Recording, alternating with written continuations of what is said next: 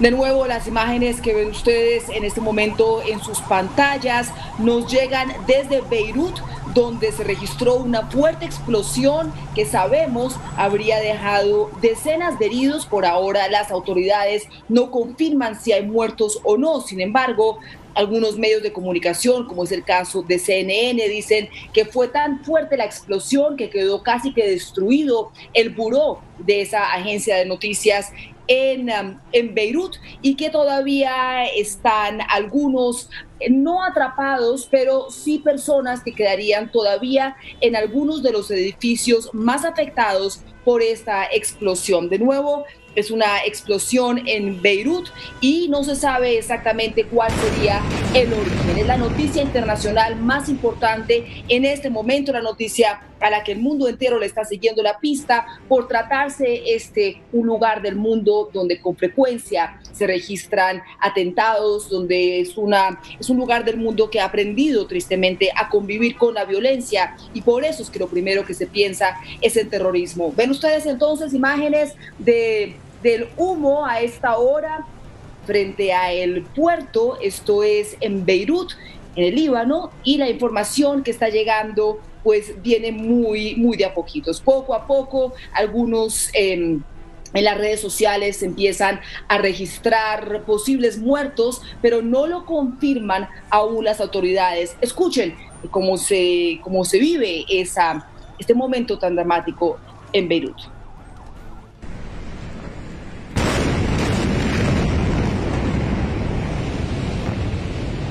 Ahí ven entonces imágenes em, que nos tienen, que nos transmiten en directo. Em,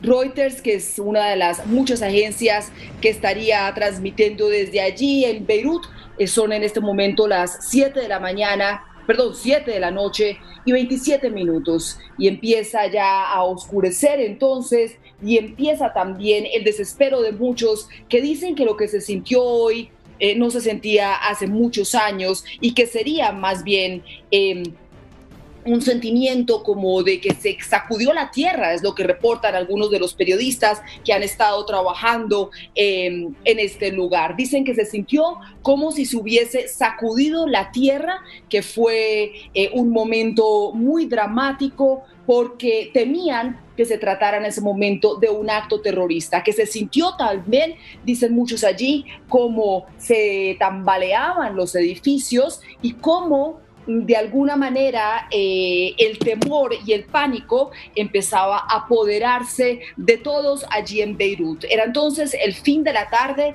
en Beirut, de nuevo son las 7 de la noche y 28 minutos, era el fin de la tarde cuando se sintió entonces esa, esa explosión esa explosión que ha hecho que muchos, y aquí revisando las redes sociales, empiecen ya a pedir que oraciones, oraciones para Beirut, oraciones para Líbano en este, en este momento tan dramático, porque de nuevo es un país em, que tristemente Em, ha, tenido que enfrentar el terrorismo que ha vivido, terrorismo por, por temas de Hezbollah, por, por, por ser por, Oriente Medio, por tensión, por supuesto, con Israel y sobre todo con, con la guerrilla Hezbollah. Y por eso es que lo primero que se piensa cuando se habla de una explosión en Beirut eh, en Líbano, pues, pues se piensa en terrorismo. A pesar de eso, en las redes sociales, eh, por ahora, no se está registrando terrorismo, más bien empieza a circular con más fuerza la hipótesis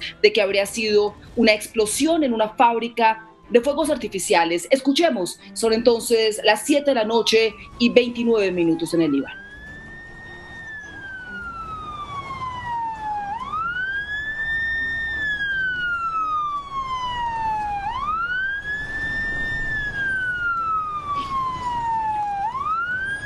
Ambulancias y la búsqueda de posibles víctimas, de posibles eh, sobrevivientes también, y empiezan eh, a empezarnos ya a llegarnos reportes de los hospitales donde donde dicen que en algunos hospitales no tienen eh, la capacidad para recibir a los heridos eh, porque también están enfrentando, como el resto del mundo, una crisis por coronavirus que afecta, por supuesto, los hospitales. Escuchen eh, en este momento la tensión y la angustia que se vive entonces en las calles de Beirut.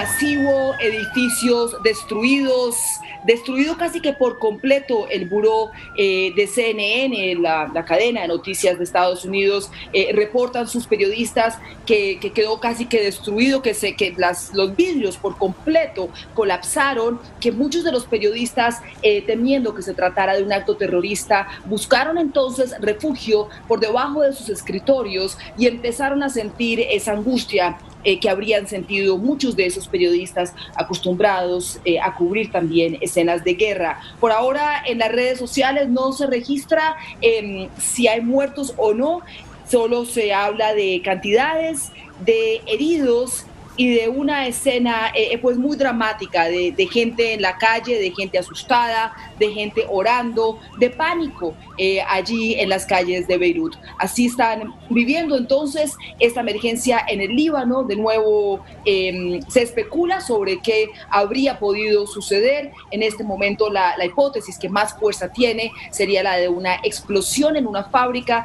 de fuegos artificiales. Las autoridades por ahora lidiando más bien con la emergencia y no todavía eh, entregando eh, la información en cuanto a, a cuántos serían eh, los los, ah, los, heridos y los muertos que, puede, que pueden estar aquí. Empiezan a llegar imágenes de redes sociales, y que darían fe de lo dramático que fue ese momento. Escuchemos, porque nos están, la, la, imagen que ustedes ven, pues nos llega en directo de, desde la capital del Líbano.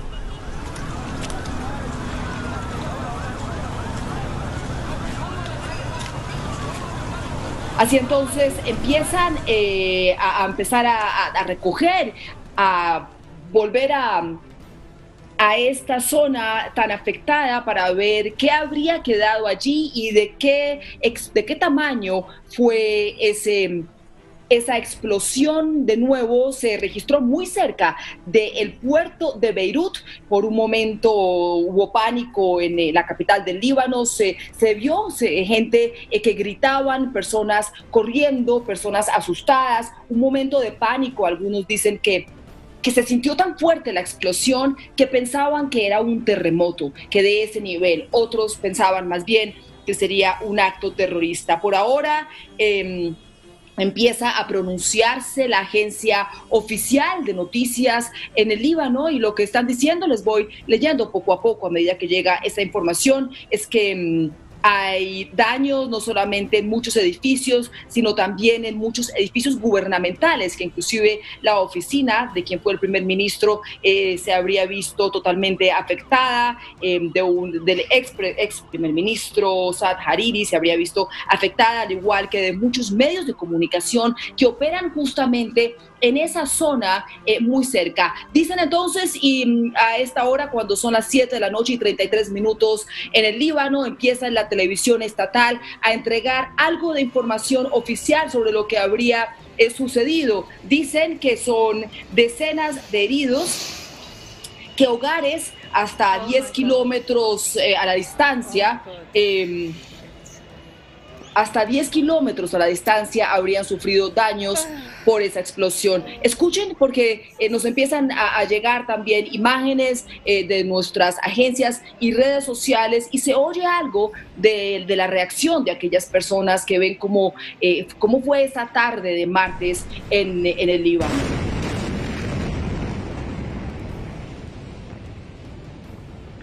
La televisión estatal eh, registra también daños a carros. Dice que varios carros alcanzaron a elevarse en el cielo y a, caer de nuevo y que algunos de los heridos serían justamente quienes estaban en esos carros. Ahí tenemos entonces estas primeras imágenes muy cercanas justamente del lugar de la explosión en las horas de la tarde en Beirut, capital del Líbano. Pueden ustedes eh, ver ese fuego que no logran todavía apagar y que se creería fue una fábrica de fuegos artificiales, pero eh, estamos eh, a la espera de saber cuántos serían los heridos. Fueron por lo menos dos explosiones muy fuertes apartamentos, aquí leyendo en las redes sociales, eh, personas en apartamentos eh, que dicen que se sintió eh, como, si los como si los edificios fuesen a colapsar, que fue de ese nivel la, la potencia entonces de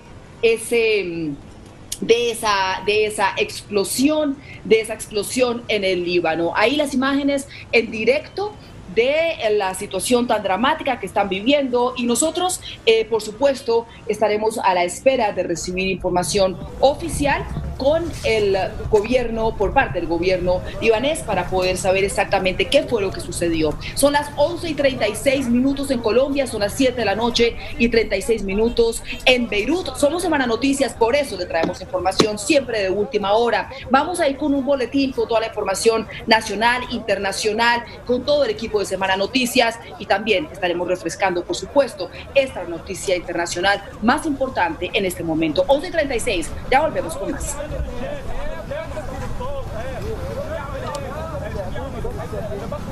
والله أنا بقرب لك عليه والله.